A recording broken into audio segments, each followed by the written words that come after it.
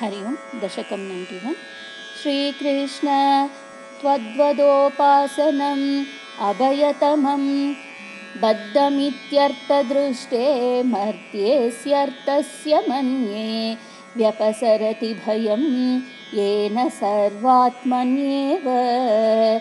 यत्तावत्त्वत्प्रणीतानि भजनविधि नास्तितो मोहमार्गे धावन्नप्यावृताक्षः। स्खलति न कुचिद्देवदेवाखिलात्मन् भूमन् कायेन वाच मुहुरपि मनसा त्वद्बलप्रेरितात्मा।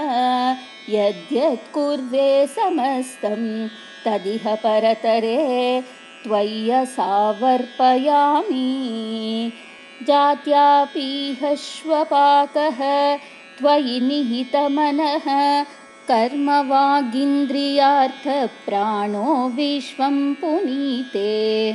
न तु विमुखमानाः त्वत्पादद्विप्रवर्यः। भीतिर्नामद्वितीयाद्भवति ननु मनः कल्पितं च द्वितीयम् तेनैक्याभ्यासशीलो हृदयमिह यथाशक्तिबुद्ध्या निरुन्ध्यां। मायाविद्धेतु तस्मिन् पुनरपि न तथा भाति मायादिनाथं तत्त्वां भक्त्या महत्या सततम् अनुभजन्नीशभीतिं निजह्यां भक्तेरुत्पत्तिवृद्धि तव चरणजुषां सङ्गमेनैव पुंसाम् आसाद्ये पुण्यबाजां श्रियैव जगति श्रीमतां सङ्गमेन।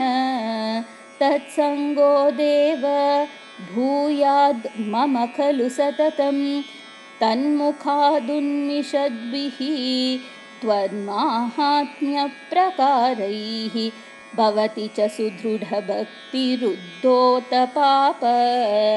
श्रेयो मार्गेषु भक्तो अधिकबहुमतिः जन्मकर्माणि भूयो गायन् क्षेमाणि नामानि।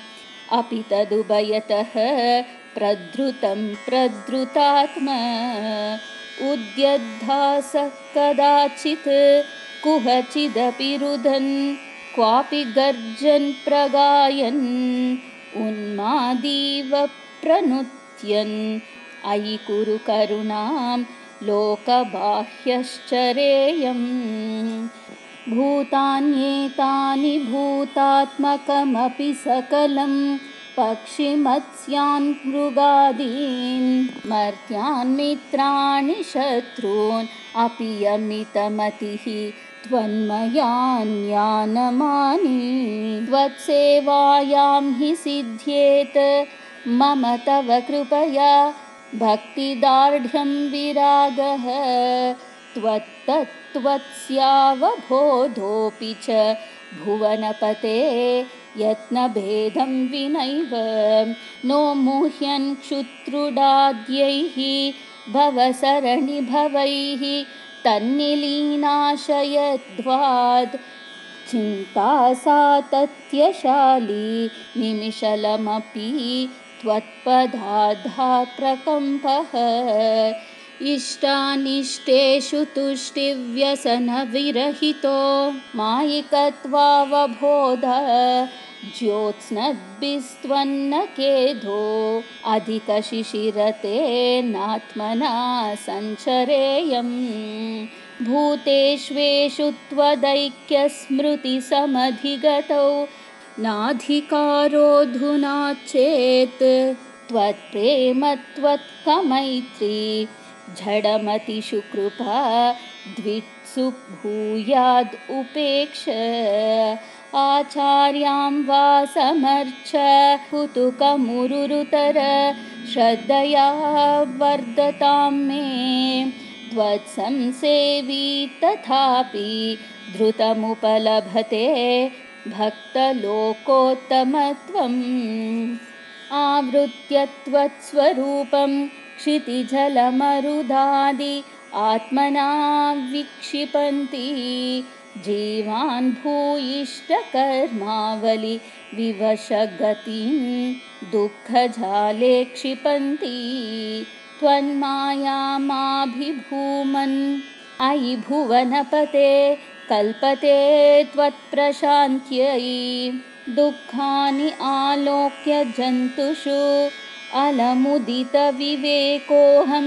आचार्यवर्यात् लब्ध्वा त्वद्रूपतत्त्वं गुणचरितकथाद् उद्भवद्भक्तिभूम। मायामेनां तरित्वा परमसुखमये त्वत्पदे मोदिता हे तस्यायां पूर्वरङ्गः पवनपुरपते नाशयाशेषरोगान्